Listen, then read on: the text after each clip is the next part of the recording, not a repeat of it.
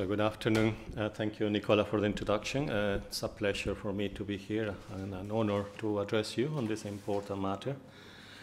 Um, I, uh, as Nicola said, I work with the International Commission of Jurists. Uh, it's a, a non-governmental uh, organization, an international organization composed of uh, jurists, judges, lawyers, and law professors and uh, our objective, our mission is to promote uh, international human rights uh, law, uh, um, or human rights more generally, through uh, the mechanisms of the rule of law. Uh, we are headquartered in Geneva, but we have regional offices as well. So, just for those who don't know, the ICJ, that's what the ICJ stands for. It's not only International Court of Justice, it's International Commission of Jurists as well. Um, um, so um, let me first, um, I think congratulations are in order. Definitely, I think you have done a, an excellent work on this re research uh, project uh, for all those who are involved. Uh, the Governance, uh, is that the name, Institute, um, and all the uh, other researchers and uh, university um, other groups that were involved into this project. I, I, I should express my congratulations on and gratitude for this uh, interesting, very relevant uh, uh, set of results and recommendations. I think they will be very, uh, very much uh, appreciated and, uh, and also paid attention to in, in the context of global debates on this issue in particular. Um, before I, I, go to discuss the questions or the, the, the different uh, possible avenues or different steps for the future, uh, I would like to highlight as well uh, um, a few of your recommendations that I see particularly interesting, and relevant, and pertinent, and sometimes also ambitious in certain respects. Um, uh, in, the, in two areas. Uh, in the area of jurisdiction, an expansion of jurisdiction, and in the area of non-judicial uh, project of uh, company-based grievance mechanisms. So in the first place, in jurisdiction, you highlight uh, or recommend the extension of European courts' uh, jurisdiction over the subsidiaries of European-based uh, domicile businesses in claims that are connected to a claim against the European company. The, the, another recommendation uh, focuses on the expansion of the jurisdiction to cases uh, concerning uh, not necessarily uh, domicile companies in Europe, but uh, or, or other companies when there is no other uh, forum or tribunal that will guarantee fair trial, but uh, at the same time, uh, the, claims are sufficiently connected, or there is sufficient close connection with a European state. Uh, I see these two uh, uh, recommendations particularly interesting and relevant. They correlate with some other recommendations that we were, we were discussing in other forums. until last year, uh, was participating in, in, a working group in the Council of Europe. Um, and that uh, issue finally at the beginning of this year a set of recommendations, recommendation 2016/3, on filling the gaps of the implementation of the guiding principles in Council of Europe. Council of Europe in particular is, uh, is, uh, is relevant because uh, it covers or the membership of the Council of Europe is uh, larger than the European Union, including Russia and several um, Eastern European or CIS countries. Um, the international law associations, Sofia guidelines, also uh, are also quite pretty much in tune with these recommendations that you included in your uh, in your uh, final uh, report on the research. Uh, I would submit, nevertheless, the, that there is a need to include uh, more discussion and a clearer recommendation about the question of uh, um, companies that carry out substantive business operations in European uh, countries.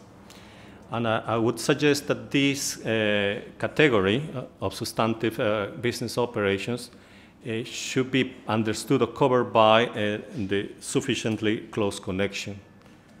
Yeah. Uh, in the sense that uh, it would suffice that the company, whether it is Asian, Chinese, or Indian, or Brazilian, carries substantive business operations here, like selling or buying or having deposits, etc., or, or, or uh, holding certain investments, not necessarily having subsidiaries here, but uh, just doing business, will be uh, considered as a sufficient close connection for this purpose, the purpose of your recommendations. Normally, substantive uh, business operations or presence in the market is a, is a legal category already considered well, in the US for issues of jurisdiction, uh, um, in the United States, in, in California in particular, uh, but uh, also uh, in the context of um, by, uh, investments agreements, bilateral investment agreements, uh, concluded by the European Union.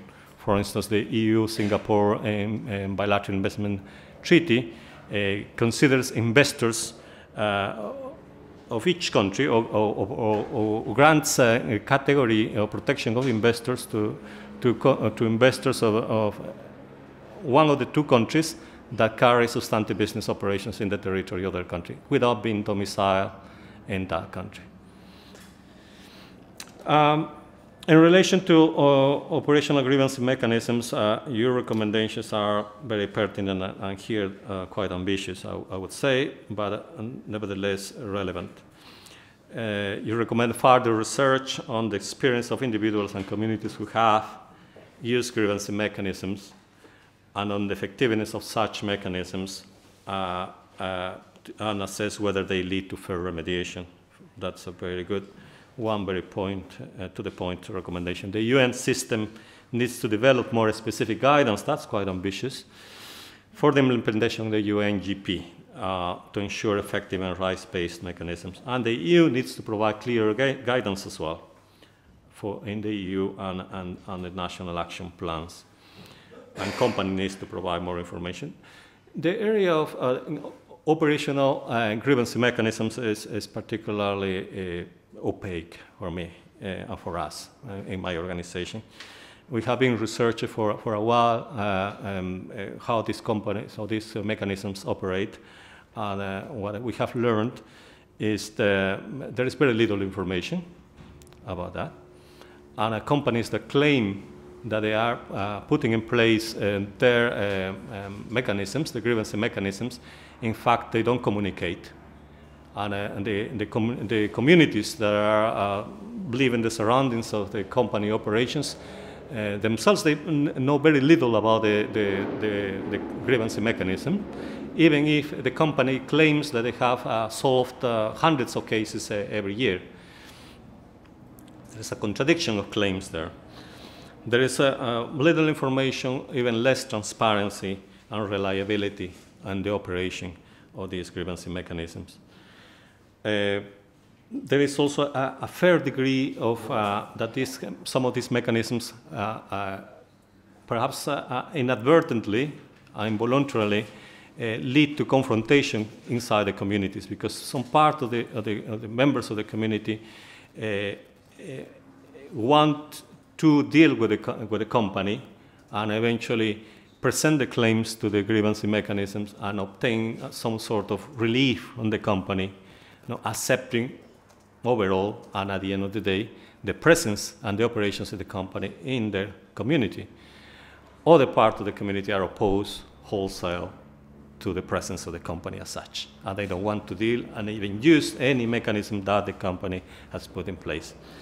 So, uh, and then uh, the grievance mechanisms have been unable, or the company strategies have been unable really to deal with this issue of conflict and confrontation inside the community, and there are indications there that uh, actually uh, the, the, those confrontations or conflicts are being uh, encouraged sometimes by company officials. So Uh, and then finally, as you pointed in your research, this part it is, it is in your research, the uh, grievance mechanisms are used many times as, a, as part of the company legal strategy to shield itself against legal liability by using uh, you know, legal waivers and other mechanisms uh, that finally leaves uh, the victims uh, worse off than at the beginning.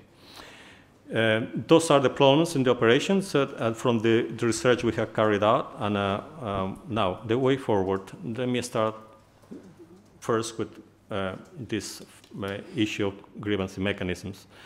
at the ICJ, in, in, coordination with different other organizations, uh, hopefully, uh, we have been discussing also with the International Bar Association, Human Rights Institute, and the Working Group on Business and Human Rights. We will uh, establish a panel of experts uh, towards the end of this year uh, to discuss and research and produce a report and prepare guidance exactly on what you are recommending here on, grievance mechanisms, company-based grievance mechanisms. It, so this, that report with additional guidance should be released within one or two years. That includes research uh, and discussions, consultations, and site visits. You know, a, number of four site visits to, to see on the place what's happening with the local communities and the cases that the companies claim they have been dealing with uh, in a satisfactory manner. Um, I would say also, apart from that, that the, these recommendations that you have uh, in your final report are, uh, will be paid attention, very, um, very serious and very uh, um, responsible attention in the global debates uh, in relation to standard setting and, uh, and ways to increase uh, or improve access to remedies at the United Nations level. We periodically in Geneva, in the Human Rights Council, in the different human rights bodies, we discuss these issues, and increasingly the committees, the different committees, the Committee on Economic Social Rights, the Human Rights Committee, the Committee on the Rights of the Child are in the United Nations are looking at these issues and the impact of companies, of business corporations, and the, and the protection of uh, the, the, human rights. And they are issuing uh, documents, recommendations, comments, uh, um, etc. I think um, several of these um, recommendations will find their way into these discussions. So in that sense, I'm, I'm, uh, I'm very grateful again that uh, you gave me very good material to work with in my own work. Now, what could possibly happen? What I said is what is going to happen just now, what are we going to do?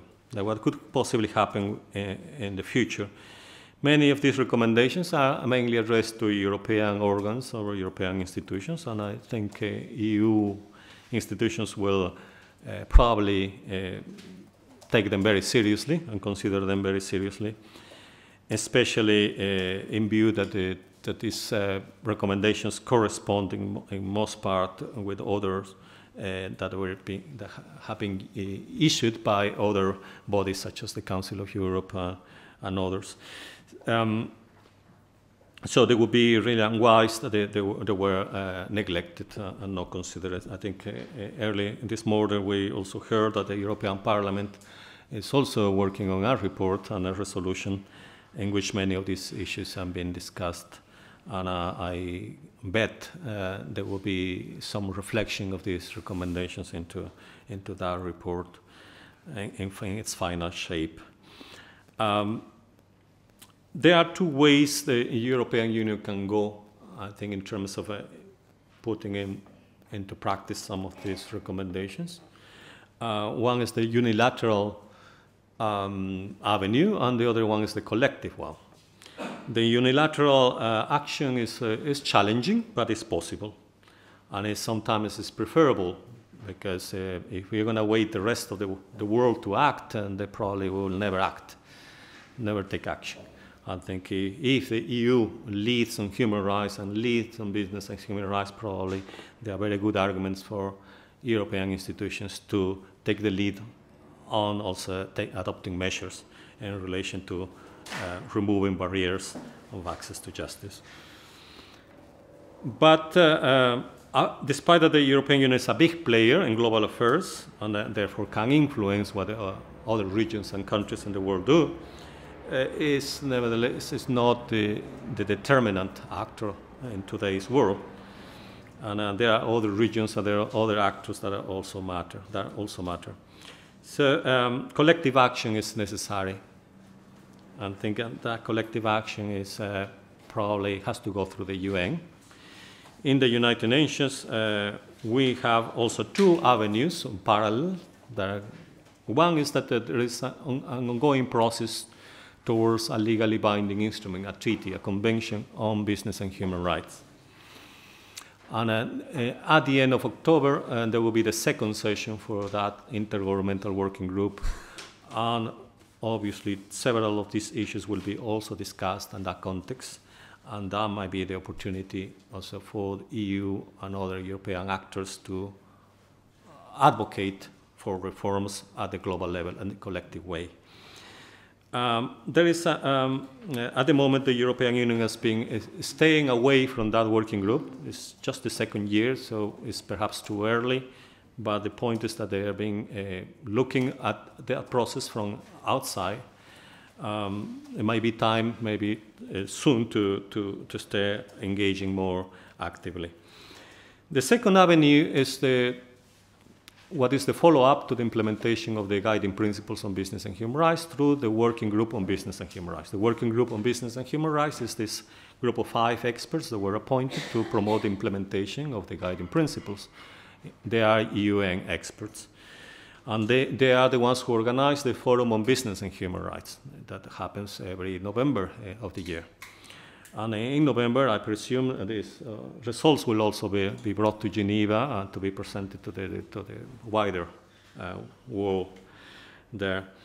Um, but uh, of course, presentation and discussion is not enough. The, the, presentation and discussion doesn't apply recommendations, doesn't operationalize recommendations.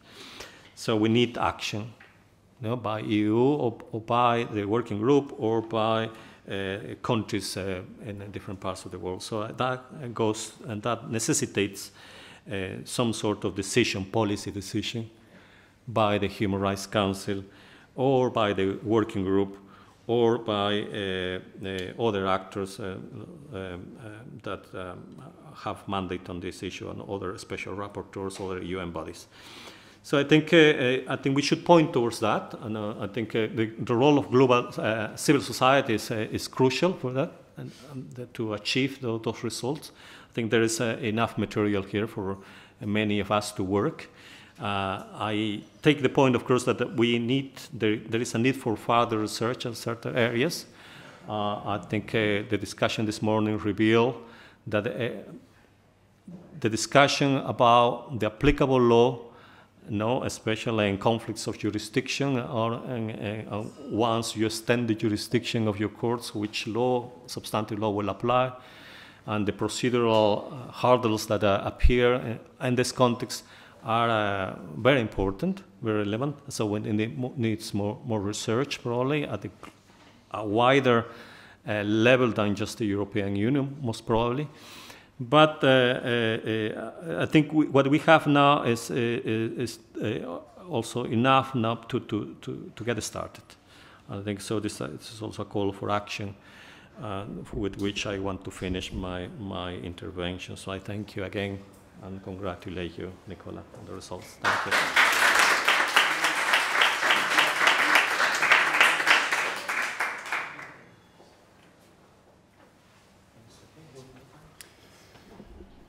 So now it's my turn to thank you uh, for inviting me and for guiding us in the panel and for all the interesting results that uh, your research has delivered. So much appreciated.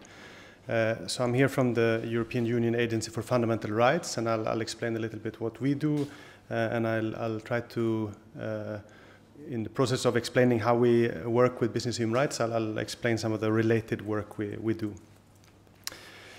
Uh, and towards the end of the day, it's, it's of course interesting to reflect a little bit on on what one could say. Uh, there would be two avenues. One could say that everything has been said, and I had planned already to say it, uh, so I don't have to say it. So that would be one way of, of uh, escaping.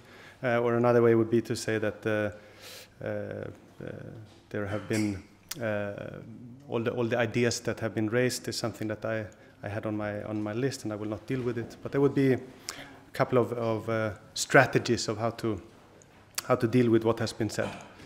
Uh, the agency of, uh, the Fundamental Rights Agency, uh, we often call it FRA.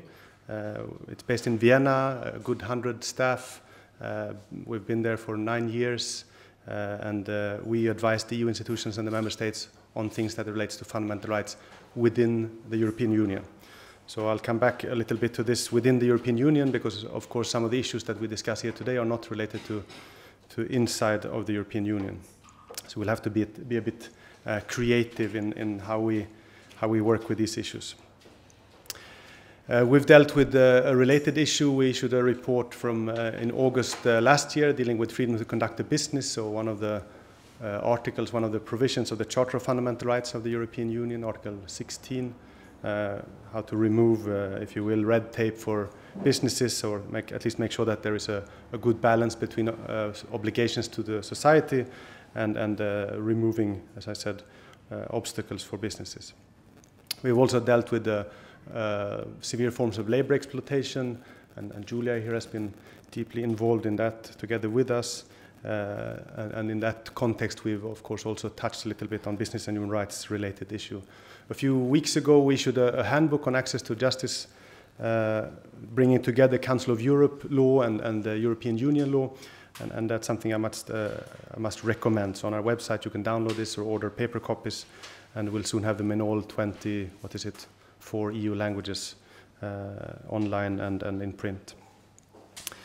Uh, and in that handbook, we have uh, nothing explicitly on business and human rights, but we have uh, on, on remedies in general that they have to be accessible, about uh, the, uh, providing re redress uh, in, a, in, an efficient way and in a, in a a coherent way, or something that offers a reasonable prospect of, of, success. In the past, we've also dealt with access to justice in general uh, in relation to human rights, in, uh, dealing with discrimination, dealing with data protection, asylum proce procedures, uh, dealing with issues like length of proceedings, costs, uh, burden of proof, where to turn, etc. And I wanted to exemplify with, with one, uh, with one project in this area uh, we also we also do uh, some of these surveys, large-scale surveys, uh, uh, sometimes involving several tens of thousands of interviewees, face-to-face interviewees or interviews uh, on violence against women, on on uh, minorities and immigrants, on Roma, LGBTI persons, etc. And one thing that we see from these surveys, or that the surveys confirm, is is the the problem of reported cases or the cases that actually gets to be dealt with. And, and this attrition triangle, if you will, if you, if you imagine the, all the incidents up here and then the actual solved cases, and that, uh, that uh, as it's called, attrition uh, process uh, from, reported, from happening to reported to reported taken seriously to reported taken seriously uh, acted on uh, in a sufficient way. Very very few cases are, are actually uh, dealt with, and this is uh, across across the areas, and, and, of course relevant for business and human rights as well. If I just uh, take one of these uh, and, and, become a bit more concrete on uh, in, in one one of the surveys we did in relation to minorities, uh, more than 70% of the interviewees did not report human rights violations. Over a third of all the victims did not report, record because they didn't know where to turn, so more than a third didn't know where to turn. 80% uh, of all could not think of a single organization where they could turn. Uh, and when we gave them, in this case, the name of equality bodies, or national equality bodies uh, in the member states where we interviewed them, 60% had never heard of them. And of course, that's a, an awareness problem that is, is again, related to business and human rights and, and many other areas. So those were some of the uh, business human rights related issues that we've dealt with. Uh, so freedom conducted business, severe forms of labor exploitation, access to justice uh, more generally. Uh, but we also follow the, the, the, area of business human rights uh, in some ways. Uh, the, the debate, the academic debate, attending a conference here and there, organizing a small event here and there. And we had a, a nice get together with some hundreds of people in end of June in Vienna called the Fundamental Rights Forum, where we brought together uh, on, on, various topics uh, ranging from migration to digital age, but also businesses, where we didn't only discuss business human rights specifically, but businesses and human rights uh, was one of the one of the issues. But coming down to to uh, what I really wanted to say, so that was the propaganda warm up, uh, if you will. Uh, in at the end of end of June, the Council Council of the European Union adopted conclusions where they asked for a number of called for a number of actions in the in the European Union, and one of them was addressed to to the European Union Agency for Fundamental Rights, where they asked us, and I will have to quote, uh, where they asked us to adopt an opinion, and I'll come back to what that means in our context, possible avenues to lower barriers for access to remedy at the EU level, taking into account existing EU legal instruments and competences at EU and member states level.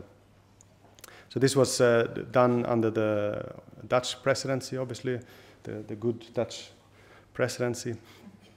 Uh, not to distinguish it from the surely as uh, equally good uh, Slovakian presidency that is ongoing. Uh, but this, this was a request to us, uh, and typically we get these requests uh, with some a handful at the most every year from one of the three EU institutions, and the Council being one of the more rare requestors. Typically, it's the Parliament, but on occasion also the, the Commission.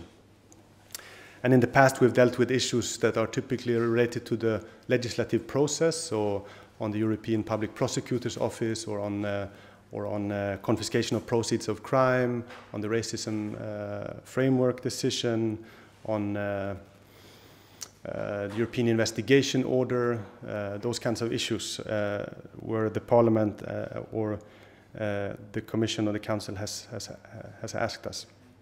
And here then we have an issue that is not connected uh, uh, which is a bit, a bit rarer, to a particular legislative process, but a broader field, if you will, where, where there's less clarity on, on uh, what, the, what the obligations actually are. We have a, a tradition in these opinions to, to which are advisory uh, in nature, to, to base our, our findings on what the international law, international human rights law, European human rights law standards are and what, what should be done. Here it's of course uh, less exact what we can offer. So we are envisaging at least to, in, in some weeks' time to have something where we will inevitably have to be fairly vague uh, uh, and, and say what the EU and the member states could, could do. It's of course a complex area in terms of legislation, in terms of shared competence, in terms of uh, the mandate of the agency that I alluded to in the beginning. And uh, for these reasons, but, but that's typically what we also what we always do is to consult uh, well and widely uh, with uh, key stakeholders, civil society, governments, just to understand the issues to the best of our ability, to see what is out there already, of course, learn from what research and, and other advice has been provided. And for that reason, I'm very, very grateful and happy to have been here today. Uh, and, and, also, I was in Amsterdam at your previous event, picking up a lot of good ideas. So if I have my way in the end with the opinion, there might be uh, things, there will be things that, that you recognize. And maybe that's a, uh, and I'll, I'll, conclude with that, but it, it's of course, uh, the agency has a particular position. We're an EU agency, an EU body. We can advise the EU institutions, again, only advice, it's not binding. Uh, but we have to think about what is our added value. So not just restating all the other suggestions that are out there, but uh, we have to, to do uh, something more specific that the agency, uh, that, that, that, makes it useful that the agency proposes. And I, I, think you can help me with that, and I have some more consultations after this conference is over with, with some of you. Uh, so, what could we possibly include? Uh, I, am the lead uh, at the agency on, on, uh, on drafting the opinion, but I do that together with a number of colleagues, and uh, surprisingly, maybe, maybe not, we have uh, bosses that also have a say. Uh, and so, what I say here is inevitably my views, and they might change. I might change my views, or I might be outvoted. But, but here are some of the ideas that I think uh, could be useful, and, and some of them I already discussed with, with some of you. And, and as I said before, you will recognize uh, some ideas here. Uh, if, we, if I take a, a, handful of examples, maybe on non-judicial mechanisms, uh, I think there something we could suggest is some kind of a minimum standard, some kind of a checklist or guidance on what would make sense to have for the European Union.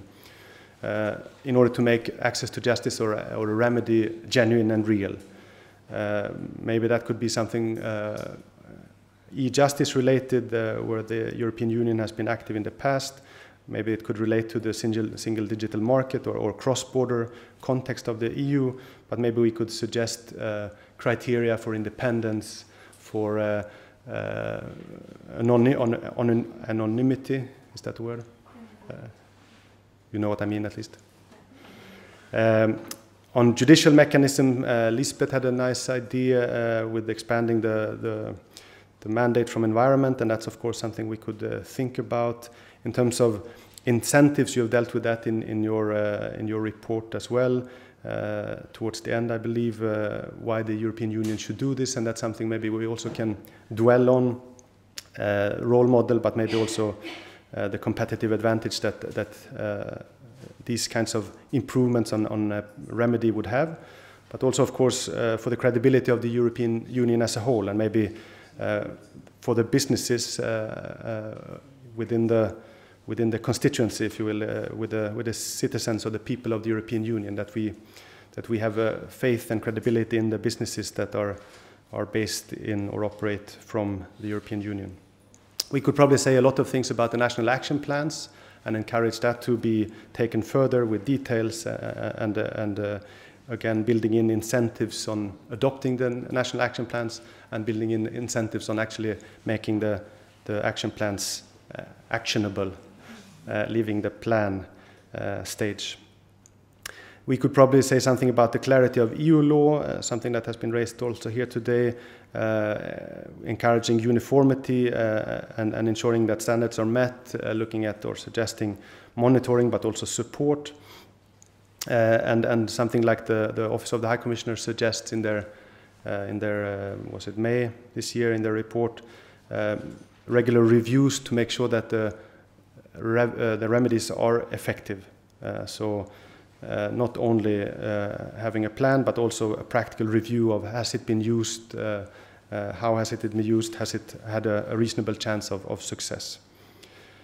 And maybe, and maybe these kinds of, of guidance, these kinds of uh, comparative studies that this would entail would, would also uh, bring a comparative uh, advantage for the European Union in the sense of uniformity, that there would be a credible minimum standard for the, for the European Union.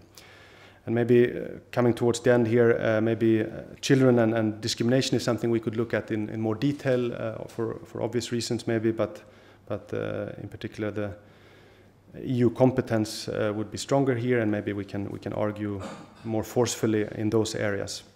And if you have a, a remedy for children, uh, I guess others could use it too, uh, uh, unless it's very strange. finally, then maybe awareness is of course important, and I think there's something we can we can say a, a lot about as well that uh, that previous speakers have have uh, alluded to.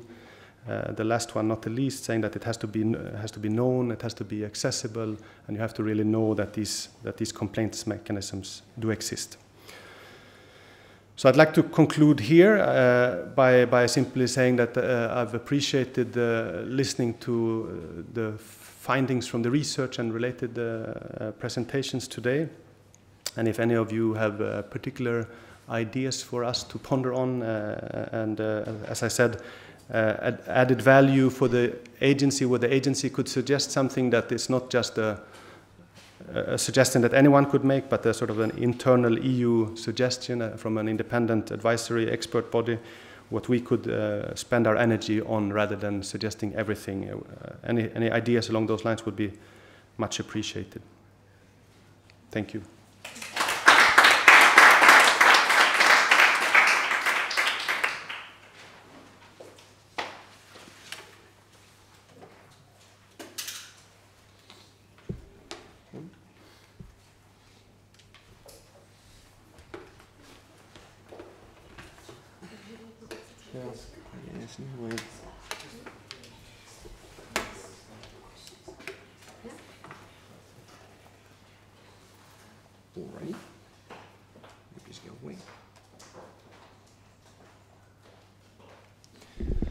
All right. Um, well, thank you for holding out so long, first of all. Um, my name is Lucas Roorda. I'm from the University of Utrecht. Also work with the Utrecht Center for Accountability and Liability Law. Um, before I start, I'll, I'll, just say two things beforehand. First of all, um, those of you of an older program of today might notice my name was not on the list before. I've been sort of scooped in uh, at a very late moment because another speaker had to cancel personal problems, shit like that happens, which means that I haven't had time to completely adjust my presentation to the other distinguished speakers. So if I'm, I might be slightly repetitive every now and then, I'll try to avoid it as much as possible. Um, a second thing is that, as you notice, my speaking pace is pretty fast, and I know not all of you are native speakers or very um, work a lot in, in, the English language. So if I'm unclear on anything, please ask, raise your hand. Um, I know there's time for questions afterwards, but it would be a bad thing for me to say a lot of words and having you understand just half of them. Um, then the last thing is that I think the two speakers we just had were pretty, I'd say, optimistic about the possibilities that there are for changing um, the law relating not just to human rights protection generally, but to remedies specifically. And my apologies, I'm going to be a bit more pessimistic than the past few speakers, as you might already infer from Seth Milton over here. Um, those of you who don't recognize him, watch Office Space. It's completely unrelated. So, extraterritorial remedies. Um, I'm going to speak about a couple of things. First of all, why are we talking about extraterritorial remedies? Now, a couple of previ previous speakers have already uh, either explicitly or implicitly discussed this, so those very shortly. Um, I'll say a couple of things about the, what the guiding principles and John Ruggie specifically have said about extraterritoriality, especially in the third pillar.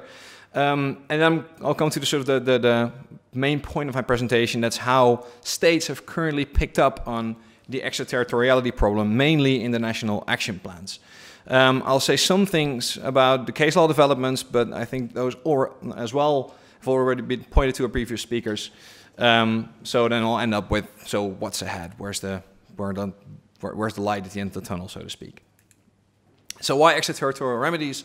Um, very shortly, you've already heard about how um, the separation of corporate legal personalities means that regulating from a home state perspective and finding, uh, or sorry, find, yeah, regulating from a home state perspective um, is a bit of a complicated problem. And finding remedies at a local level can be equally complicated, either because there is no court available, or because there's no legal representation available, there's no legal funding, um, there might be very strong evidentiary problems, it might be a conflict region specifically, any awards that one might receive might not be enforced by local governments. There's all kinds of reasons why, in specific circumstances, finding a remedy as a victim of a business-related human rights violation is hard or next to impossible locally. And like I said, the separation of corporate legal personality um, means that this is not just this is not a simple issue. Um, there are criminal law possibilities for um, prosecuting corporations for violations they've committed abroad, but um, whether or not they really provide an opportunity for victims to actually find their own remedies very much depends on the legal system. Some European legal systems do allow victims to join in a criminal procedure, some don't. Um, other systems do it to a very uh, limited degree. Uh, yet other systems make it very easy for victims to file their own criminal complaints. A pretty diverse area. Um, I'm not really going to discuss that in the rest of the um, presentation. I'm really going to talk, to talk about how you can find civil remedies extraterritorially. So basically the foreign direct liability cases that Liesbeth Enneking talked about this morning. Um, and this is specific, specifically a problem when we're talking about human rights violations in conflict areas. And as the quote over there suggests, uh, already early in the drafting process of the guiding principles, SRG Ruggie sort of realized or emphasized this point. And as you'll see later on, I find it pretty interesting that he's been uh, quite outspoken um, about the extraterritoriality issue early on in the drafting process, specifically to conflict areas. Well, as you can see, uh, what message should we send? Good luck. But then, as we'll see later on, not much of that message has gone through in the guiding principles themselves.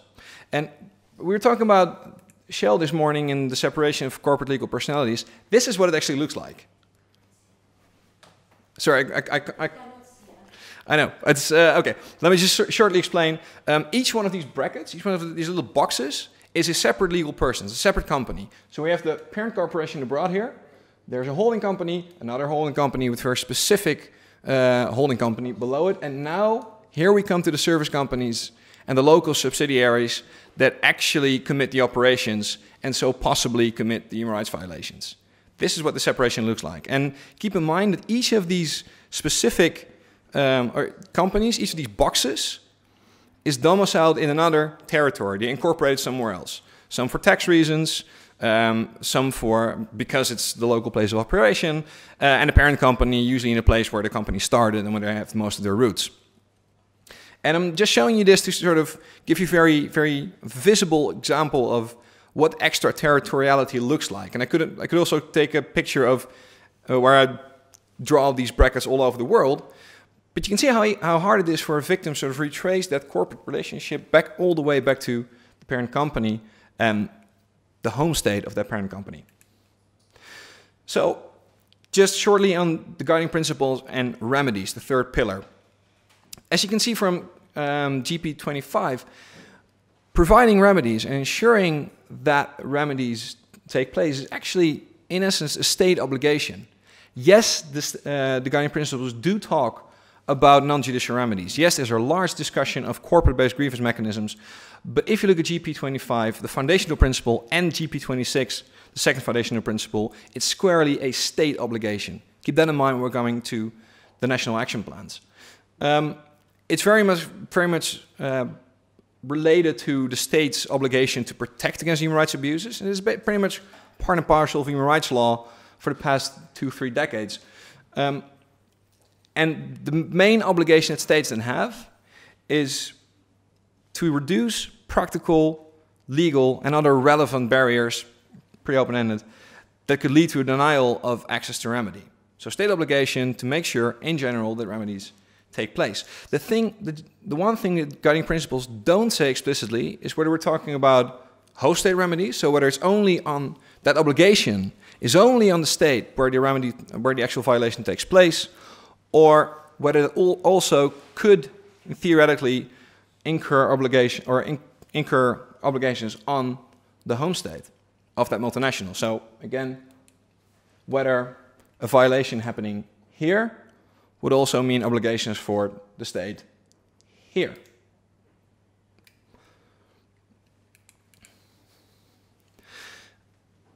Now, extraterritoriality does feature in the comments to the principle, so below the principle, principles themselves. And um, very specifically, it's one where uh, claimants actually face a denial of justice, where that's, that's one such a barrier, we talk about GP 26, occurs. Or um, states should also look at the way that legal responsibility is attributed to members of the corporate group under domestic criminal and civil law and so on and so on and so forth. This is basically what, we, have been discussing today. But this does not necessarily amount to an obligation on home states. It's a concern that might be generally discussed and that home states might generally have to look at. But it doesn't move basically beyond um, what's already in the text of, of Guiding Principle 26. And what we then see is basically a jurisdictional debate where we're basically in the space between the point where um, jurisdiction under human rights law ends, where it ends, where the obligation on the home state, on, on states to do something extraterritorially, extraterritorially ends, and the discussion of how far can a home state go until it reaches its jurisdictional boundaries under public international law begins. That sort of jurisdictional no man's land. And the guiding principles are pretty silent on that. And you would expect then the states to sort of pick up that, um, you could say, assignment, that encouragement that you can find in the, uh, in the commentary. Now, part of my research, I've been looking at the national action plans. And, well, again, as you can see from the most interesting man in the world, it is pretty abysmal. Um, generally, remedies um, only take a small part of the national action plans that have currently been published.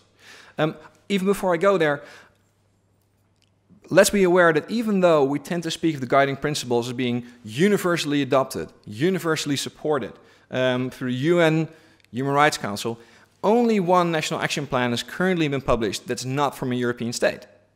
Only two, including that one, the Colombian guiding, uh, National Action Plan, are from non-EU states. So to what extent we're talking about a universal movement and a universal discussion is already, I think, quite debatable. Um, but even in those action plans, attention for, to remedies is pretty limited. And where there is talk of remedies, it's very much about non-judicial remedies. If you look at the Danish National Action Plan, there's a lot of talk about the Ombudsman. There's a lot of talk about the OECD National Action Plan. If you talk, take the Dutch National Action Plan, um, even though they do discuss issues un, uh, under the guise of state-based judicial remedies, all the action points are on non-state-based corporate grievance mechanisms, all of them. Same thing goes for the, for the UK National Action Plans. Ex, um, attention for state-based remedies is extremely limited. Um, where there is concrete um, attention to state-based judicial remedies, um, there's a couple of things that stand out. Uh, first of all, most action plans give some attention to the costs of filing a procedure in, uh, in that specific state. And we've heard about litigation costs, again, finding uh, legal aid, finding uh, legal representation, cost of actually filing the claim, cost of paying your lawyer, and so on. But if you look at the actions that are then proposed, um, almost every national action plan suffices with either just mentioning that it's costly and then not discussing it at all. The Dutch National Action Plan even specifically says, well, we think our legal aid is pretty much sufficient. And it's too bad that there's no representative of, of the legal profession here today because they would probably tell you it is not sufficient. Um, otherwise, the commitments are very general in reviewing the civil procedure. Again, as heard this morning, civil procedure is pretty, a pretty complex, complicated set of issues as they pertain to business human rights. So just a general commitment to review, I think, is pretty insufficient. And as far as extraterritoriality goes, um, we see that some of the national action plans, so the, the, Dutch one, the UK, and the Danish one, do discuss uh, extraterritoriality. But the UK National Action Plan basically leaves it in that jurisdictional no man's land, basically saying, well, we don't think there's an obligation under human rights law to act, act extraterritorially, but state, states might choose to do so, period. No position, no commitment, no action. The Dutch National Action Plan goes even further, or even further back, depending on how you see it, saying that, well, we, uh, the Dutch government does not believe that extraterritorial action should be taking place. There should not be a general instrument pertaining to extraterritorial action, um, and basically leaves it at that. So that, oh sorry, let me go back just one more uh, point. If you look at the Danish National Action Plan, um, for those of you familiar, the interesting thing is that it was drafted by the Danish Institute of, uh, of Human Rights which means, and then adopted by the Danish government. Now, I'm not a complete expert on, on what the specific procedure was, but you can basically see that the, the plan is sort of hinging on two, um, sort of two points. Sometimes it talks about the recommendations by the Danish Institute, which do include the recommendation to adopt one, unilateral extraterritorial measures, and two, um, start negotiations for a multilateral instrument that would include extraterritorial measures. But if you see to what extent the government has adopted that recommendation, that's completely absent. So that's sort of, again, pretty much in limbo. So, um, again, I'll do this very shortly because I think we've talked about this pretty extensively already. Um, there's an in increase in uh, civil cases that sort of try to find their way around that current status quo where states don't really act on the extraterritoriality issues. And I'd like to sort of pinpoint two. Um, one you're probably extremely familiar with already, especially if you've been to these, these sessions before, is the um, Nigerian case in the Netherlands, the Akpan Milieudefensie versus Shell case. Um, and just to reiterate, the jurisdictional foundation of that case was um, jointly filing the case against the subsidiary. So again, think about the boxes, the one on the bottom and the one on the top, arguing that factually they consider, concern the same set of circumstances. Um, and then asking the Dutch court to assume jurisdiction over the subsidiary, even though it was domiciled in Nigeria, because the cases were so closely connected. And the interesting thing is that even though the Dutch court did consider and eventually um, dismissed the case against the parent company, because there was no general duty of care for the parent company, they, did they could still retain jurisdiction over the subsidiary. Now, whether or not this could be possible in other, other European states is pretty, pretty open. but it might be a possibility. Second case, which is interesting, very new one, um, is, but already mentioned, the Comilog case, which is an employment case of, of Gabonese workers that were dismissed by a mining company 20 years ago, uh, in their perspective, unfairly, where the French court assumed jurisdiction not because, as the workers claimed, the French holding company was a co-employer, but because, because um, if the case couldn't go forward in France, that would amount to denial of justice. And the connection um, between the Gabonese employer employing company, Gabonese subsidiary, and the French holding company was found in just that small share at the time of filing. Again, I think pretty creative way to, I hate this thing, pretty creative way to go around uh, the issue. And as we'll see, I think in the future is that in absence of state action, litigants will try to find different ways, different jurisdictional possibilities uh, of going around the extraterritoriality issue, finding, let's say, in some cases even artif pretty artificial constructions um, to get their case to be uh, heard in the European Court. Um, some of the cases you can find actually in the handbook. Uh, the, the, factual uh, summary is already there. There's a Swedish case on dumping in Chile. There's a German case where actually German court did just assume jurisdiction over a Pakistani factory fire. And interestingly enough, a new case in the Netherlands filed against Trafigura over the Probo disaster. And I think if you uh, if you're interested in the issue of access to remedy, if you're interested in extraterritoriality, this is basically where I think the main uh, developments are going to come from. Um, and what we see in these cases is also that there's an increased involvement of NGOs. I was talking about legal funding being a very um, problematic issue and the lack of state action at that point. NGOs have started to fill that gap, even trying to crowdfund, as happens in the Netherlands, these kinds of uh, these kinds of cases in absence of actual legal aid um, and supporting practically plaintiffs, uh, victims, local victims that try to uh, try to bring these cases. Um, there is there's definitely some state action happening in the business human rights area in general. We we have talked about the French um, law or in Amsterdam, but be aware that these do not really directly improve access to remedy. The rules that they set and the, and the possibility for filing complaints might help eventually victims um, to find their own personal remedy, but thus far there's no direct increase in these laws. Um, skip the rest of that part. The last thing, I, I, was, to be honest, very disappointed to hear the representative of the EU uh, or of the European Parliament talk about how some of the um, recommendations were killed off in committee. Because, and I'll do this from the bottom up, um, the Council of Europe recently uh, adopted a recommendation that basically says verbatim what he was discussing in regard to the European Parliament. First of all, it calls upon all member states of the Council of Europe, and be aware, every member of the EU is still a member of the Council of Europe, not the other way around, calls upon the member states to uh, apply legislative or other measures that might be necessary to ensure human rights abuses um, by business enterprises to give rise to civil liability. And they do specific recommendations as well um, how they should do that. One, forum of necessity. Two, asset-based jurisdiction. Three, uh, rejection of forum non-conveniens. Pretty much everything that was also in the uh, European Parliament set of recommendations, and I think also pretty much um, what the report of, uh, of today is arguing for. Um, and another interesting development, I think, is that the Committee um, on Economic, Social and Cultural Rights has recently engaged with the debate on the NAPs, reviewing the United Kingdom's uh, National Action Plan and basically saying, well, uh, that's all fine and well, but we would really like to see some action, um, especially regarding the legal liability of corporations domiciled on your territory.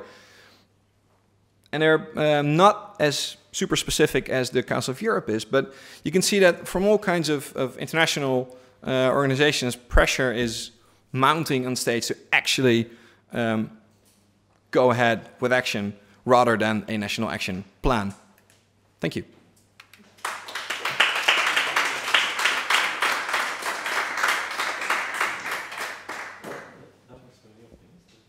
Thank you. Thank you, um, all three speakers, for your very insightful contributions and also for sticking to the time, because we now have half an hour left for uh, discussion. Uh, so that's uh, very good. But also thank you for showing us how the recommendations coming out of this research project might actually find a way into your work and the many other ongoing developments at the national level, at the European level, and also at the global level at the United Nations. And it's encouraging to hear, not, notwithstanding the very welcome um, reality check by uh, Lucas, the, about the many avenues that, um, that are out there where these recommendations might actually contribute to further action, because it's clear that that is what is needed, uh, further action. Um, well, your contributions have, uh, well, I have several questions, but I don't want to abuse my position as a moderator. So I first would like to uh, give the opportunity to, to, the people in the audience to raise uh, some questions. So are there any questions you have for any of the specific panelists or all three of them? Please could you state your name and your affiliation?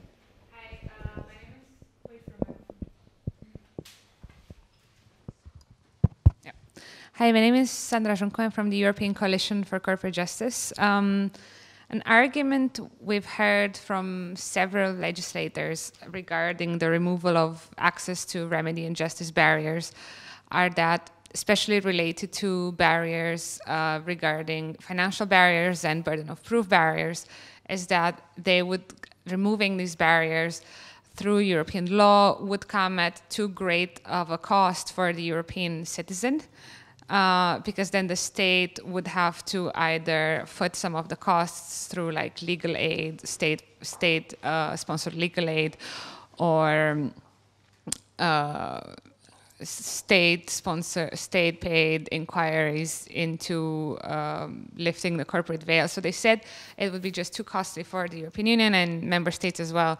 Is this something you've encountered also? Is there any way around this argument? Thanks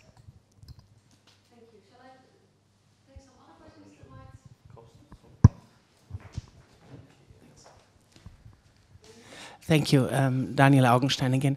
I have two, um, two questions for Jonas that concern more the broader picture, the policy vision, if you wish. Um, I think there are two normative issues that are raised by the type of research we've been doing, or maybe that have been driven, driving the research. The first one is something I briefly mentioned this morning. Um, should cases that involve human rights violations enjoy somehow a particular status in the general system of private international law? Because we think that there's something particularly um, important about human rights to protect. Um, you can also phrase it in doctrinal terms, right? So the charter is part of EU primary law, arguably a constitution, part of the constitutional essentials of the EU, whereas Brussels I is just a regulation. So how do these two instruments interact? So that would be, call it the functional question. And then the other one's a territorial question. Um, is it the case that the EU should make the same efforts and apply the same standards when protecting human rights internally and externally? Right, so in our cases, if, it, if an EU company violates human rights, should it really matter whether the victim is on the territory of the Union or outside? Because that's the crucial issue for human rights jurisdiction in terms of territory where the victim is. Now, again, the EU is uh, required by the treaties to uphold human rights in its external relations and has committed to upholding their universality. So the question is, it's a normative question again, why, or to what extent should it matter where the victim is from the perspective of where EU policy is going? Thank you.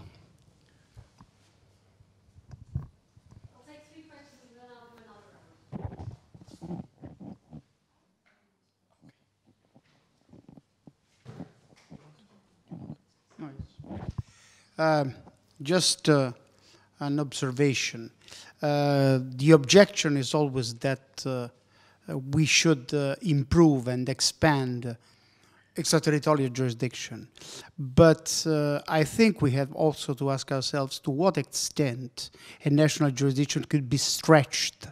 Because otherwise, the reactions like, like the ones of the US Supreme Court in Kiobel would be, I think, highly uh, uh, predictable, I think. So to what extent the jurisdiction should be or could be uh, stretched and expanded uh, since the jurisdiction remains national. So the taxpayers of a certain country pay for judgments and for the service. And this is the way, the other part of, the other side of this problem is, by the other side, to what extent an innovative, let me stress, or perhaps better say, an aggressive interpretation of uh, procedural rules took place many times in many countries. In my country, Italy, a very aggressive, uh, let's say, interpretation of law took place in many senses because of corruption. I am not uh, going to, into detail. So, to what extent it is necessary, or it is possible, or it is feasible to imagine to uh, give much more larger jurisdiction to the national courts, or to what extent I think one should rely also on an extensive and intelligent interpretation by, by, by the judges.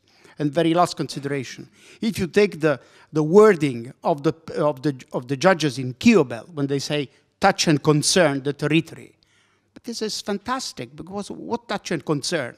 It's once, once more, we need an interpretation. Now the judge could say that a certain case touch and concerns because of the, I don't know, because of the incredible scandal of public opinion it, it, it created.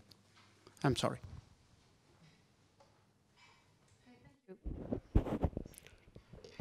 Who would like to um, react? Uh, Lucas first. Yeah. So um, let, let, let, me just take up those two questions at the same time because I think they, they pertain to the same point to a certain extent. Um, first of all, I don't want to come across as as uh, a complete naive human rights idealist and go about talking about how universal civil jurisdiction will save the day. That's the first point.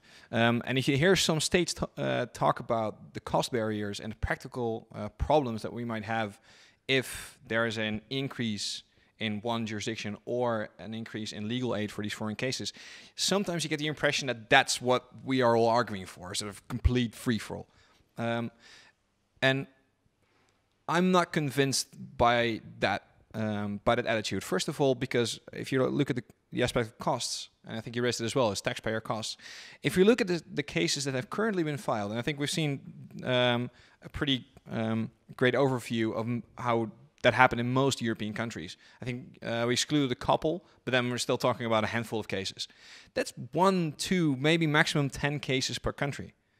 Now, these cases are big and complicated, absolutely. But if you compare that to the amount of, let's say, let's say patent litigation cases, if you uh, compare it to the amount of um, just general corporate liability cases that nothing to do with human rights in general, uh, I don't know, merger cases, um, all again, those are all taxpayer funded. I think human rights, business human rights cases are a small blip on uh, a small blip on the map, and having to increase your your legal but your, your budget for uh, legal affairs just for those those few extra cases that might come in. And I, to be honest, I don't see a wave of cases coming. To be very honest, um, I don't think that's the major the major problem. Um, and I also don't think don't think it's a genuine concern by most by most states. I think they're more concerned with protecting their own multinationals rather than their own national budget. Um, related to that, um, to what extent can you stretch up extraterritorial jurisdiction? Now, um, the reason I ended with these um, cases that are currently going on is that I think they also serve as a warning to states, because uh, victims, NGOs, creative lawyers will find uh, try and find ways to use existing procedural mechanisms to file, file these cases. And you were talking about the Alien Tort Statute. I mean, the Alien Tort Statute was never written or meant to be a human rights statute, let alone a business human rights vehicle. It was never meant to be that way. It was rediscovered and re-employed. Now we don't know what the next ATS is going to be.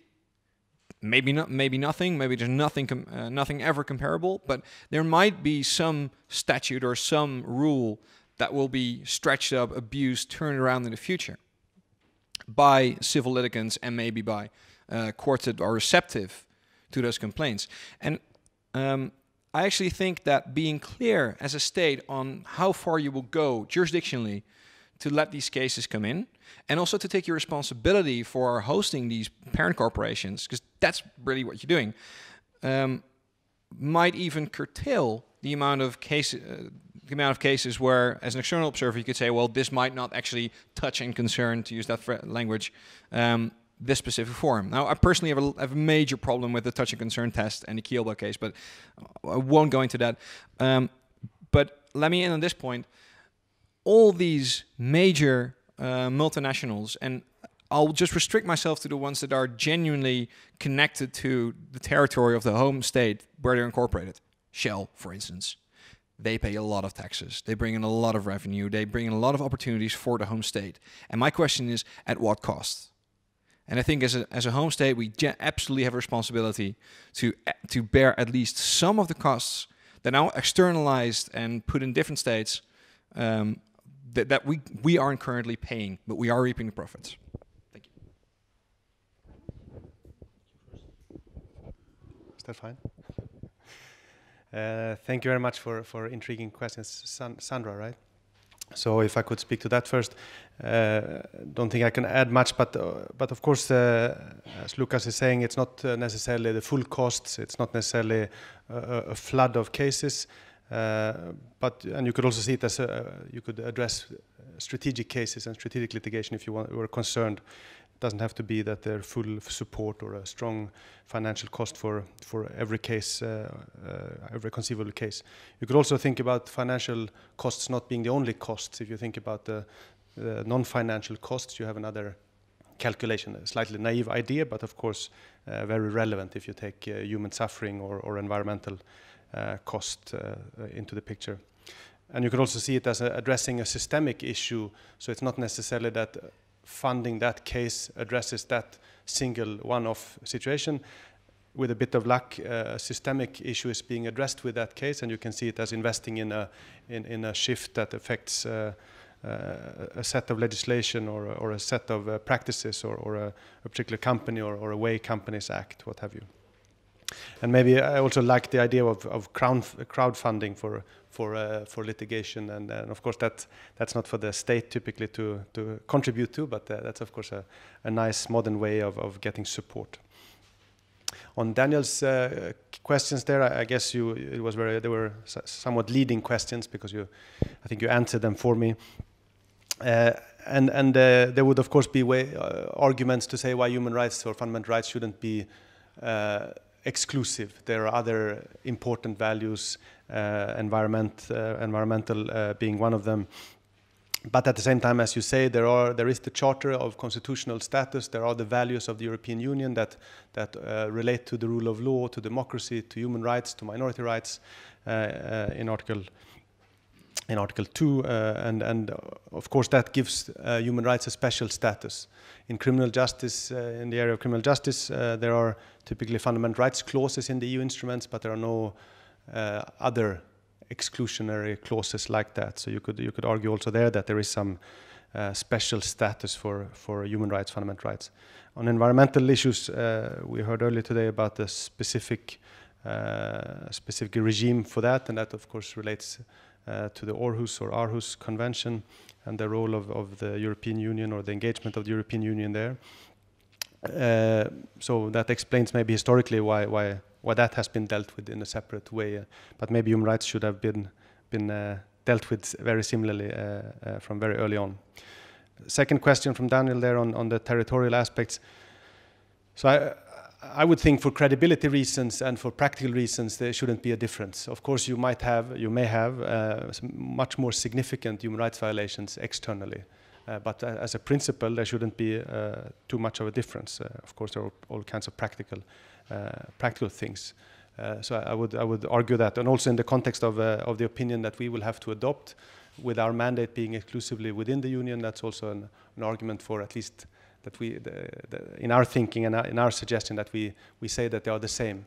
And then I come back to what I said before in my intervention and and earlier on, the, the importance of of a credible system that is uh, something that the constituency, that the people of the of the European Union, that they, they can believe in the businesses, that they can believe in the European Union, that they are doing uh, uh, their utmost to the, uh, to to make the European Union a credible and a, and a sort of a, a, good place to be and something to be proud of.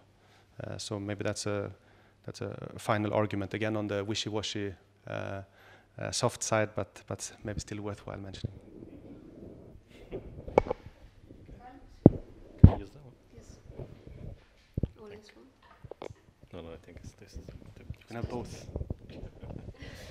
I think one is enough. Yeah, um, I, I, want to address the question, uh, my gentleman here in the first row. Uh, I think that's uh, a very good question, and also in relation to what uh, Lucas uh, um, reminded us uh, in, in, his intervention. I think there are many difficulties, of course, in all this debate and on, on any advocacy objective of expanding jurisdiction of courts of, of any country. jurisdiction has traditionally be, been based on territory and then territory is the by default jurisdiction, and the other grounds of jurisdiction are always what they call what we call extraordinary. But this is what has historically been the, the, the rule, and I think uh, uh, the whole 20th century and uh, now the century 20, 21st of increased globalization, in which we basically all the, the economic actors especially economic actors, but also civil society. You know, this increasingly and more easily operating across the globe, you know, with our respect basically for by frontiers and technology is making its part as well in, in facilitating all this uh, uh, cross-frontier, uh, cross-border uh, operations, uh, has made it unworkable that uh, that rule. And I think we need to be creative to respond to the challenges of today. We need to be creative and also uh, uh, be ambitious and take the risk. Uh, if we're going to uh, wait until everything becomes clear and we have a perfect model of world order and legal order, uh, and then we take action, no, and, and ma making you know changes here and there and, and there, probably that will be too late and the planet will no longer exist and, and, we will go with it. but uh, uh, sorry, just just let me finish. Uh, the uh, expansion of jurisdiction, uh, I mean, it's just one part of the of the of the, of the whole uh, puzzle, and I think the the jurisdiction, the judiciaries of the of developing countries or the countries where the abuses occur had to play a role as well. They had to be efficient. They had to deal with the subsidiaries, and it is possible that you know coordinated uh, set of changes will uh, finally achieve the final and the objective. The EU, in terms of jurisdiction, is nowhere close to the US. That is true extraterritorial jurisdiction. And then they complain because the European Union uh, imposes a fine on, on Apple. But they do that all the time. All the banks, from Barclays to HSB and uh, Paribas, etc., being fined by U.S. authorities all, all, all those recent years without any hindrance. And, uh, that's extraterritorial jurisdiction for true. And, uh, and, but the EU is nowhere close to that. So don't worry too much in expanding a little bit. Just to get a little bit close to that, uh, uh is, uh, we will never be risking too, too much. Thank you. I know there are more questions in the audience, so I would like to ask you to be as brief as possible and in both answers and questions so we have enough time. Uh, well, first you and then Liesbeth. Hello, uh, I'm Shikha Setia from the Institute of Social Studies in The Hague. Uh, and my question was to, the, to all of you, actually. I mean, we're developing these tools and talking about the modalities of these tools, but what are the strategies for actually bringing, I mean, giving these tools in the hands of the communities that uh, we're talking about as rights holders? How do you take it from this sort of discussion at the government level, at the policy level, at the academic level, to the communities that we're talking about? Thank you. Liesbeth, and are there any uh, more questions? Anyone else that would like to address the panel? No? Okay, then Liesbeth. Thank you. Yeah, um, uh, I just would like to address and, and hear the opinions of the of the people on the panel on two uh, ways forward that we didn't really discuss uh, today. These are not the ways forward, but I do think they uh, are. This is about two potential minimum thresholds, as you could call them. First is uh, the right to a fair trial, as uh, incorporated in Article Six of the European Convention on Human Rights. now, the European Convention on Human Rights. Um, the material provisions in the convention do not apply extraterritorially, but Article 6 is a procedural um, uh, provision and uh, would probably apply. So this is the, the right to fair trial, which also encompasses the right to access to court. Um, and that would probably also uh, be a right that plays a role in foreign direct liability cases, even if they pertain to uh, victims from outside the ECHR uh, member states, or if they apply to cases pertaining to um, uh, wrongs um, committed outside the ECHR member states. Um, and um, the ECHR um, jurisprudence shows us that there are certain minimum thresholds when it comes to costs and also when it comes to access to evidence. And interestingly, this has been raised in the Shell Nigeria case. It hasn't been taken very far in this case. Um, the, the plaintiffs basically said the fact that we have such difficulties in getting access to evidence on the basis of Dutch procedural rules um, is actually a violation of Article 6 of the European Convention of Human Rights. I think this is interesting, especially in those cases cases where um, you really find that victims find themselves in a catch-22 situation of really not being able to get effective access to a court in uh, the EU member states, uh, and I would be interested to hear your opinions on that. Uh, another way uh, or another um, way forward or minimum threshold, I think, and is also something we haven't discussed today, uh, is in the field of criminal law. Um, as we found in our report for the Dutch government, um, actually Dutch law, we looked at the material rules of Dutch criminal law, has a lot of possibilities for holding uh, corporations criminally liable. There's already a lot of in, in the law that is in the books uh, that we can use to, to um, at least um, um, um, hold liable those companies that, that are involved in the most serious violations, uh, most serious human rights abuses. Um, and uh, my question would be, um, I have no idea how, about how this works in other countries, but I do suspect there is more, there's similar possibilities there. Um, what we find in the Netherlands is that there is a problem when it comes to enforcement, because again, that is costly. So there are possibilities, but public prosecutors will not take up these cases because they simply do not have the funds uh, or the capacity to do so uh, with their whole, uh, with, with, their huge workload.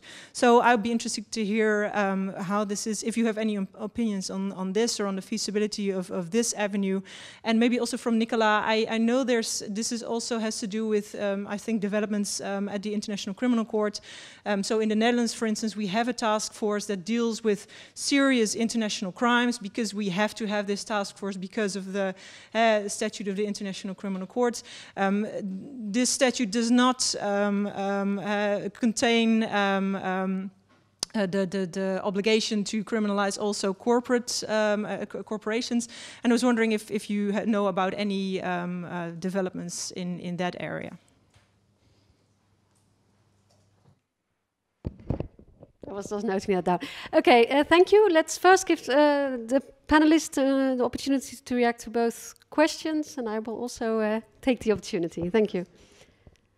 Shall I go first? Oh no, well, no, I don't, I don't actually think I should do that as a moderator. But okay, thank you, I will. Um, I have several questions I'd like to ask the panel, but I'm going to react to, to Liesbeth concerning the issue of criminal law, because indeed um, I've read the very interesting uh, uh, uh, research done by Liesbeth, uh, coordinated by Liesbeth, and it's really worth reading it, uh, because it shows what's going on. There's so much actually going on, and it does show that there are opportunities in criminal law.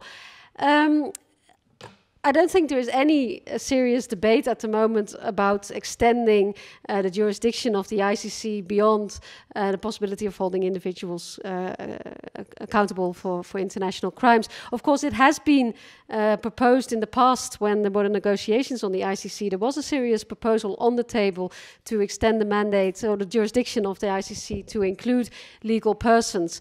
Um, and it, it wasn't adopted, I think, for many political reasons, but also one of the the reasons brought forward was also the fact that it's not possible within every national jurisdiction to hold legal entities to account. So it's still a very diverse, uh, scattered landscape. So I don't think anytime soon that's going to happen. It's, I'm sure it's going to pop up in the uh, negotiations, uh, the deliberations on towards an international treaty. But I think we all know that at least. Uh, well, at the very least, from a political perspective, we're very far removed from some anything like that coming into uh, into being anytime soon.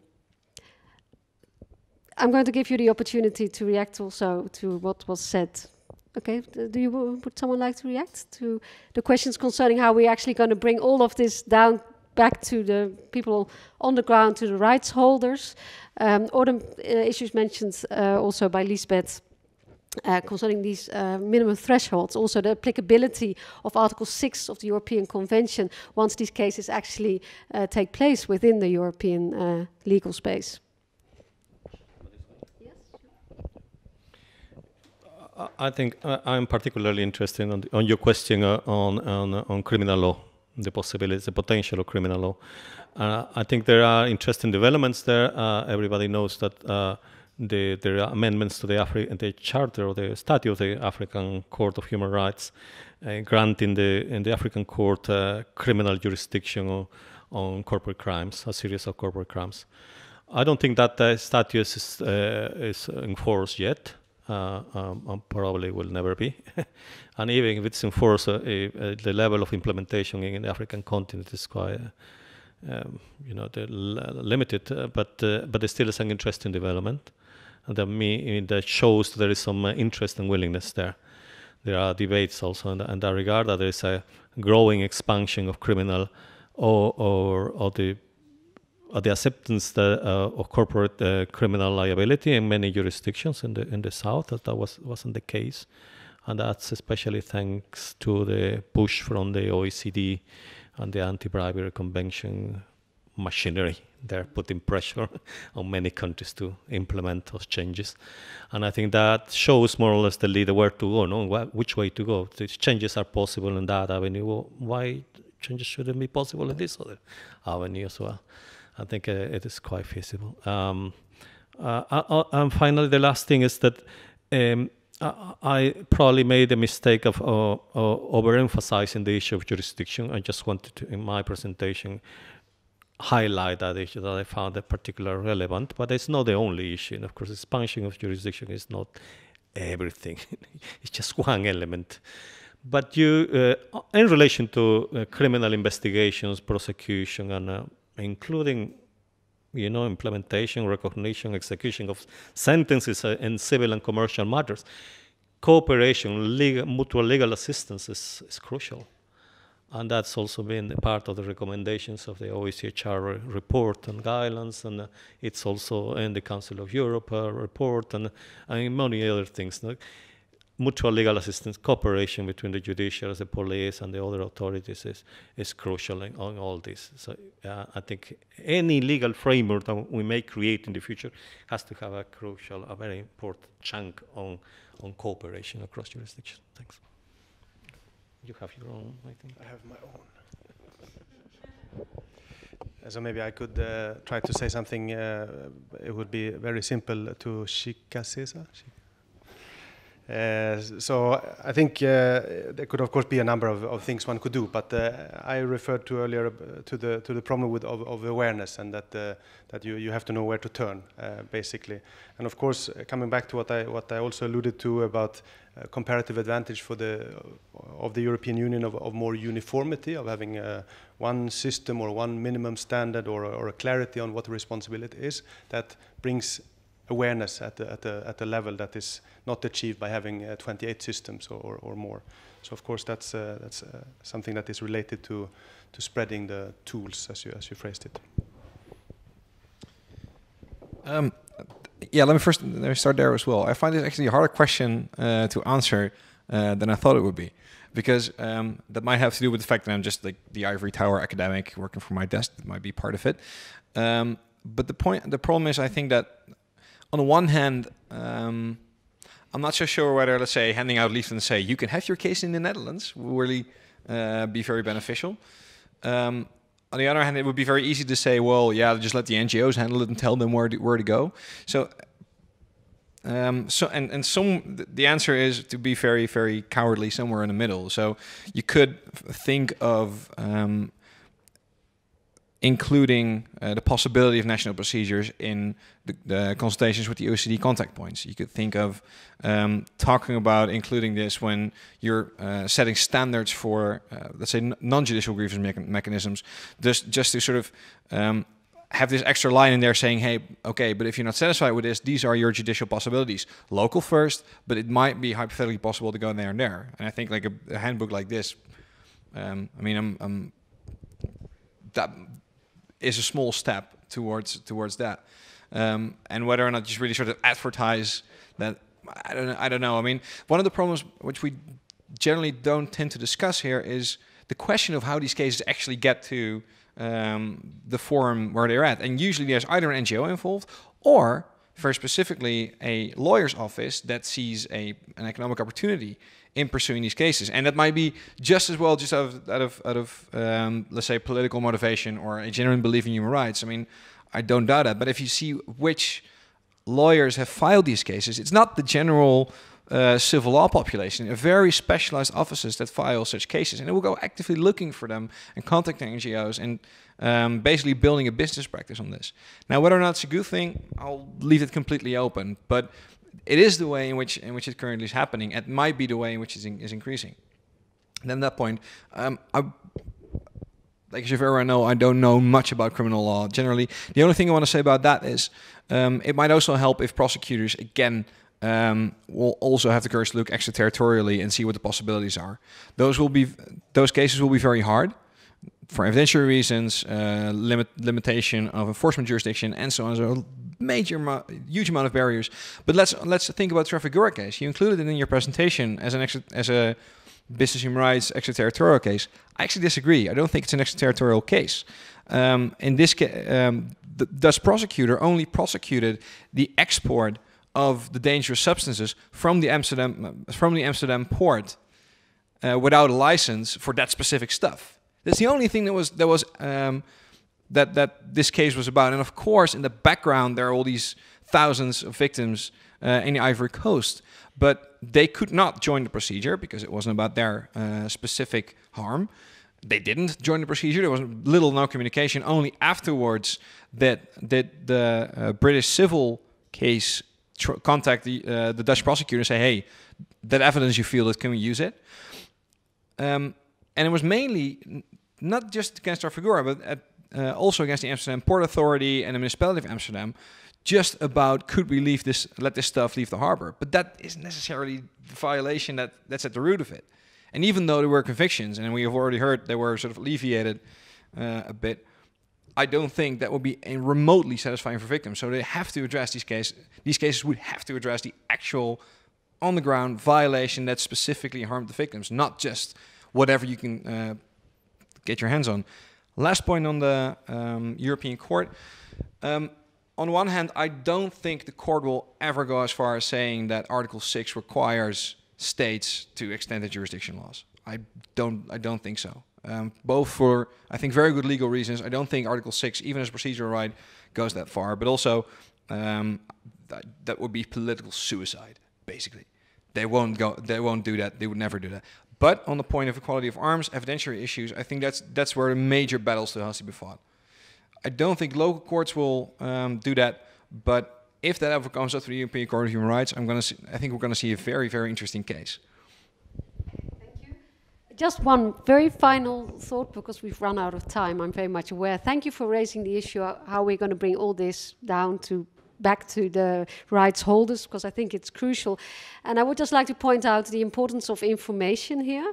Uh, lack of information on where to go, where to turn, but also lack on information on corporate structures. It's, it's actually absolutely vital. Uh, it played an important, an enormous decisive role in the ongoing Shell litigation at the, in the Netherlands. This lack of information which leads to an, an inequality of arms. So in the field of the environment, uh, you pointed out, we have the Aarhus, Aarhus Convention Which is all about participation and providing information. So I think this is an area that needs a lot of attention uh, when we move forward on these issues. Okay, that uh, being said, I would ask you, to, I'd like to invite you to thank our panelists for their most insightful presentations.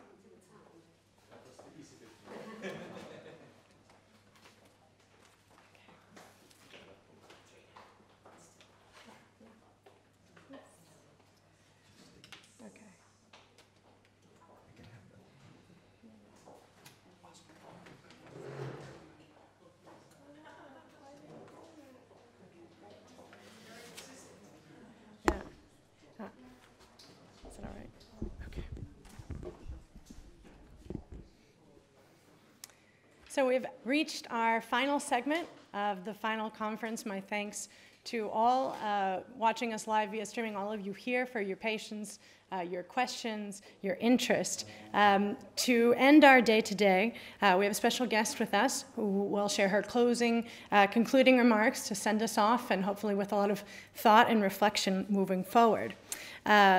So uh, I would uh, just briefly like to introduce Heidi Hautala, previously the Minister for International Development and State Ownership Steering in Finland uh, from 2011 to 2013. She is currently working her third legislature as a member in the European Parliament in the Greens EFA group uh, she has complemented her extensive political career at the national and the European level with other professional activities and various voluntary work commitments related mostly to human rights. Heidi, now Vice President of the Greens EFA Group, previously chaired the Subcommittee on Human Rights. In addition, she is the co-chair of the Euronest Parliamentary Assembly and the European Parliament Working Group on Reproductive Health, HIV, AIDS, and Development. So thank you, and thank you all.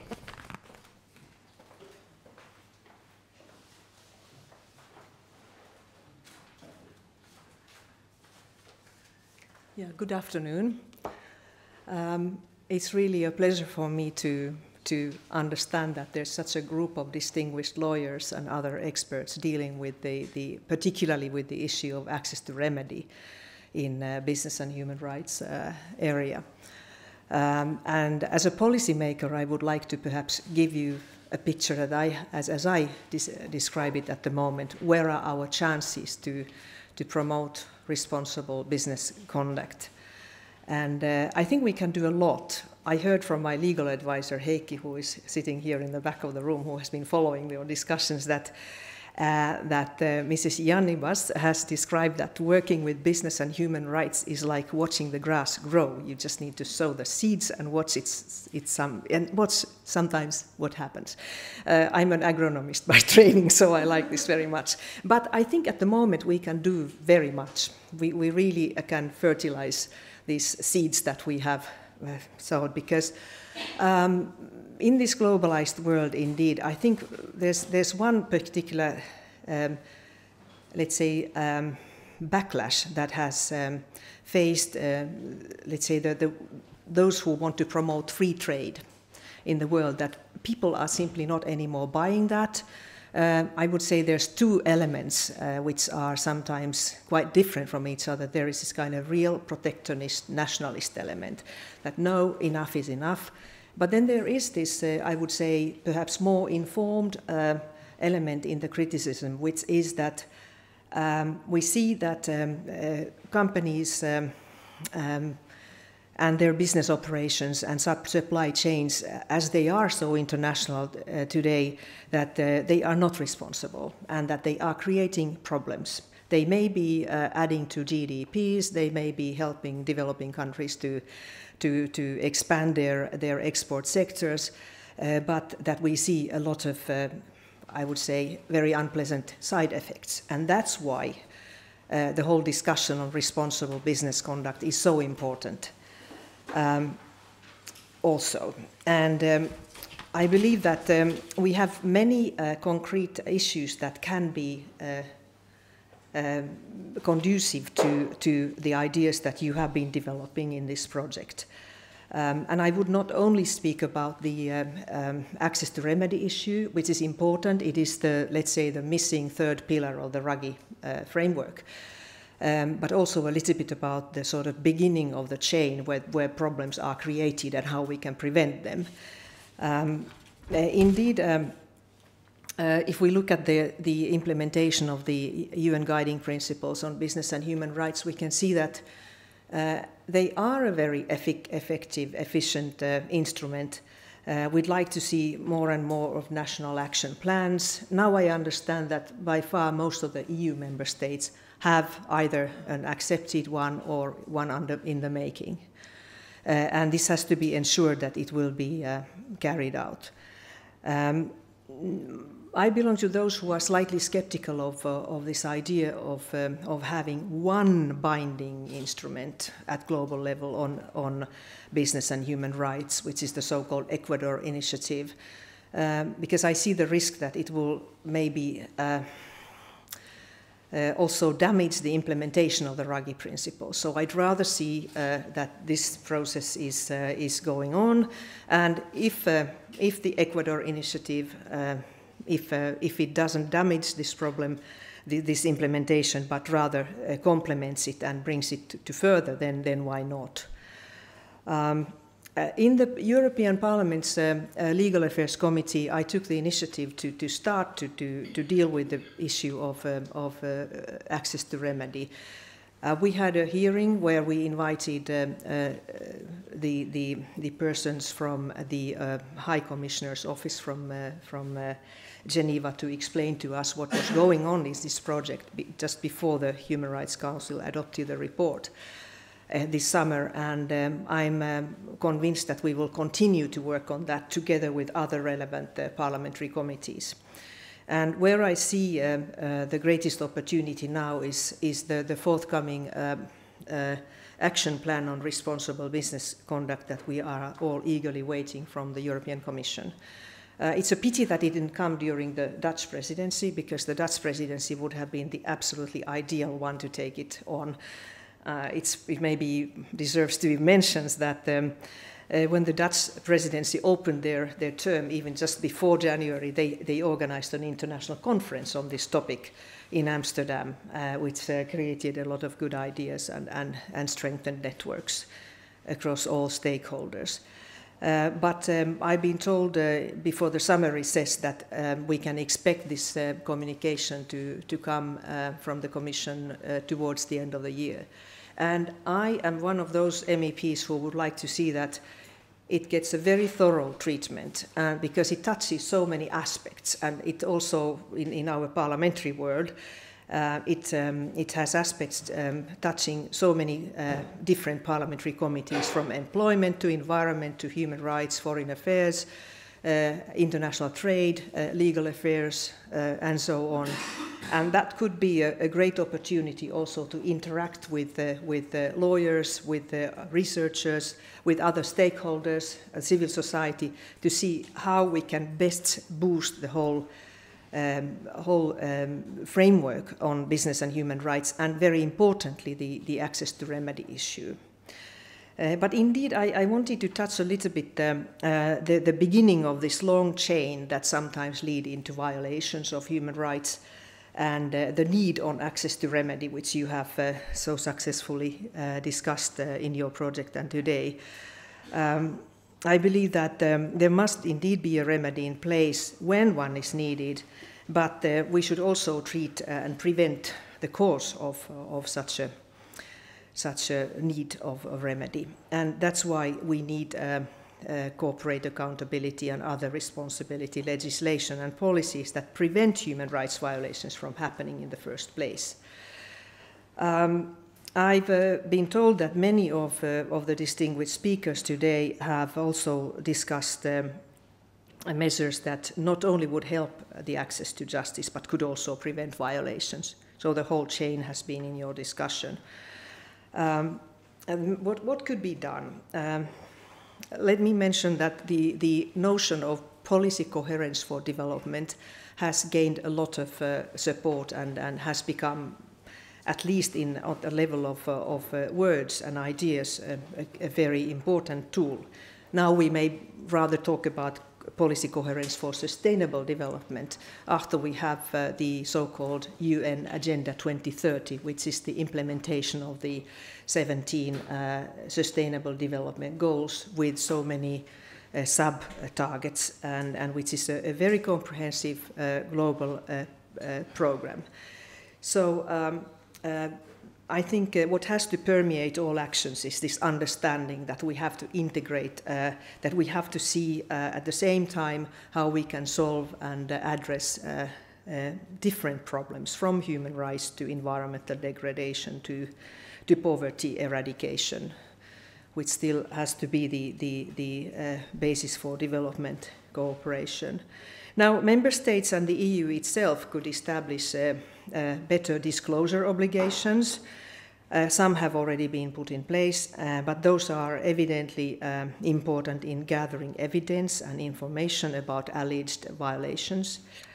And uh, just the existing of this kind of legal tool, uh, I'm talking about disclosure obligations, would make the companies to take their accountability obligations much more seriously. Now, I'm not a lawyer, but I also know that in many cases it is very difficult to establish the link between the foreign subsidiary and the parent company. So the idea to legally presume that the parent company controls its subsidiarity is worth considering because in practice that is often the case. Uh, but the idea that I like most is the statutory duty to conduct human rights due diligence. And here I think um, mm, a very encouraging sign is that eight EU member states uh, uh, are supporting the, or maybe together with France, are supporting the initiative of France to introduce uh, mandatory human rights due diligence obligations. Uh, many of you may have followed the initiative, uh, and it hasn't been very smooth because um, there have been many questions about what sanctions, uh, civil uh, law or criminal law, and if I understand the present state, state um, the idea of having uh, criminal sanctions has been a bit too radical at this time. But um, I listened with, with um, uh, big ears your recent discussion on, on this uh, sort of where would be the right forum and, and should it be criminal uh, sanctions or, or what. Now, um, let's see that um, maybe uh, the French initiative could actually be projected to the European level. I think it's a realistic idea that uh, there could be a, an EU based legal instrument which would uh, uh, oblige uh, enterprises, whether parent or subsidiary, to, to perform their human rights due diligence process properly. Um, and uh, then, of course, the discussion would arise that if there would be a European Union instrument, so where would be which which forum for, for access to remedy, if access to remedy would be would be a part of that initiative, which is is not uh, at, at the moment, um, to my knowledge, the case. But we could somehow uh, refine and uh, and uh, expand and develop further the French initiative and see what what new ideas it would bring to to our EU level discussions. Um, but um, I don't think we only need mandatory legislation. Uh, I also have seen many times that soft law instruments and uh, voluntary initiatives actually uh, are a good start for something that sometimes later becomes mandatory. So uh, in the European Parliament, we, we uh, maybe have a little bit too much this kind of uh, ideological type of discussion on whether uh, corporate social responsibility has to be voluntary or mandatory. I think it can be both. And sometimes, indeed, there is a sort of chain of events that a good uh, voluntary event uh, measure becomes uh, mandatory, uh, especially because then companies start to realize that actually uh, it's not good for the, for the exemplary and forerunner companies to suffer from those who are the free riders. So I think we, we can have a very dynamic approach to the, to the instruments. Um, then uh, should we perhaps look at the model of uh, the safeguards of and other policy frameworks of international financing institutions such as the World Bank and European Investment Bank? Maybe that could help um, in um, in guiding uh, the companies at the sort of policy level, uh, with the policy level uh, measure to to, to see what kind of uh, uh, um, elements there should be in the proper due diligence uh, analysis and, and, and uh, uh, and thus, uh, we would help the companies to understand what has to be done in order to, to prevent further violations and, and um, failures.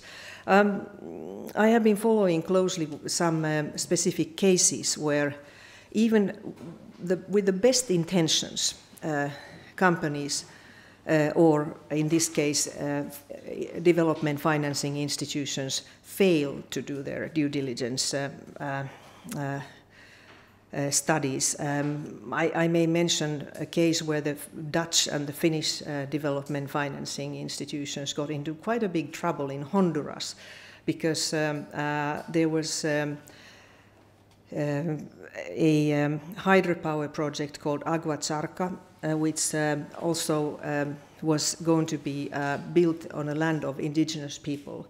And uh, not, not um, everyone um, at, at, the local level agreed that this project should take place. It's not, it's not a mega project, but nevertheless, uh, the, the uh, contradictions at local level were so hard that there were murder cases. And uh, there's a very well-known case of Berta Caceres, who was one of the victim, the main victim of this case.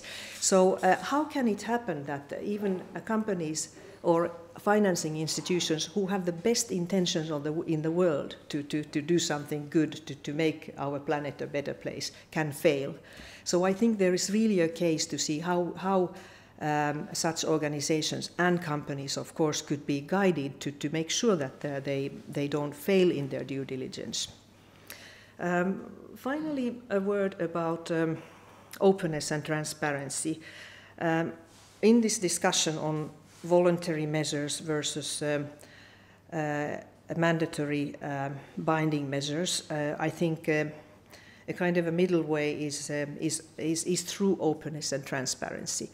Uh, many times we have seen that uh, the fact that that companies have uh, started to, to look and, and disclose their practices uh, to the public, uh, to the governments, uh, to their investors um, in a proper way has also helped to improve their practices. So that's why I would very much like to see that, um, that transparency goes along with all the measures that, that will be put in place. So uh, we're dealing with uh, such a truly global and broad phenomenon, and um, the, the responsible business conduct is so important for meeting the global challenges that we really uh, have to work together very hard. And uh, there are several of us in the European Parliament who would be very happy to continue to interact with yourselves when the moment comes. So thank you very much.